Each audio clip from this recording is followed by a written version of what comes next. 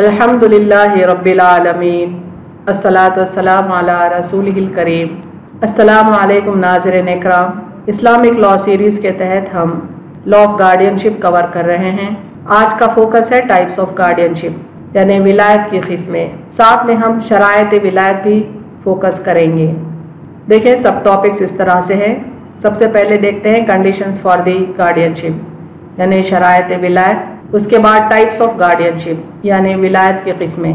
विलायत में बेसिकली दो किस्में हैं। एक है गार्डियनशिप बाय फोर्स जिसको विलायत अजबार कहते हैं, और एक है गार्डियनशिप बाय चॉइस जिसको विलायत नदब व इस्तेहबाब भी कहते हैं। सबसे पहले देखते हैं कंडीशंस फॉर दी गार्डियनशिप यानी किसी वली की विलायत के लिए क्या शरात ज़रूरी हैं।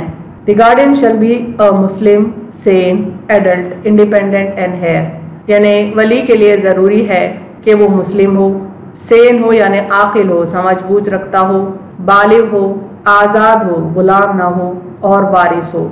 Hence if a girl is a Muslim but her father is a non Muslim then the right of his guardianship dissolve यानी अगर कोई लड़की मुसलमान हो, लेकिन बाप नॉन मुस्लिम हो, तब उसके बाप की विलायत का हक ख़त्म हो जाता है। Similarly for women son is a minor then he can not be the guardian or any male agnate who is lunatic can not be the guardian. यानी अगर कोई खातून का बेटा नाबालिग हो तो वो उसका वली नहीं हो सकता। इसी तरह से कोई मेल एग्नेट हो, यानी कोई वारिस हो, जो असबा की कैटेगरी में आता हो, लेकिन मजनू हो, यानी पागल हो तो वो भी उस खातून का वली नहीं हो सकता।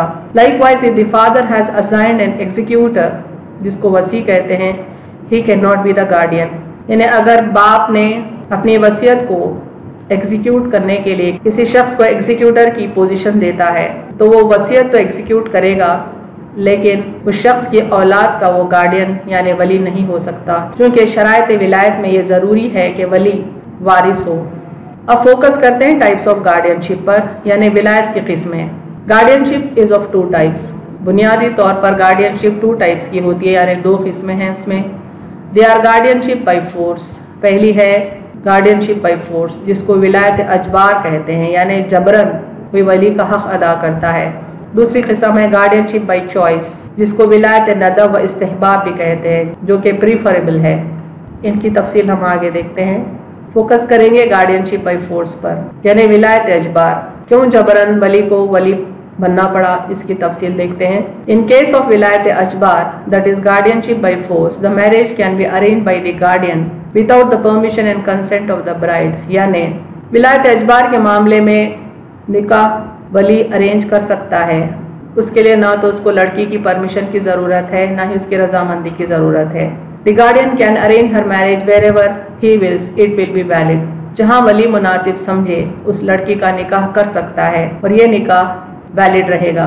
उसकी वजह यह है, यहाँ आगे तफसील बता रहे हैं for a minor or a lunatic girl or boy the guardian has the right of becoming guardian by force without their consent the guardian can arrange the marriage यानी अगर औलाद नाबालिग हो, चाहे वो लड़की हो या लड़का हो, या अगर औलाद ल्यूनाटिक हो, यानी मजनू हो, तब वली को हक पहुँचता है कि जबरन उसका निकाह अपनी मर्ज़ी से जहाँ मुनासिब समझे करे, उसके लिए उसको अपने औलाद की कंसेंट यानी उनकी रज़ा लेना, उनकी मर्ज़ी मालूम करना ज़रूरी नहीं।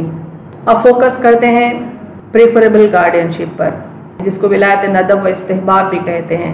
ये दरअसल प्रेफरेबल है, पसंदीदा है। इन केस ऑफ़ विलायत Nadab that is preferable guardianship marriage can not be contracted by the guardian without the permission and consent of the adult virgin यानी इस किस्म की विलायत में वली निकाह नहीं कर सकता, जब तक कि वो बालिग, कमारी लड़की की मर्ज़ी ना मालूम कर ले। और जब तक कि उसकी परमिशन ना ले ले।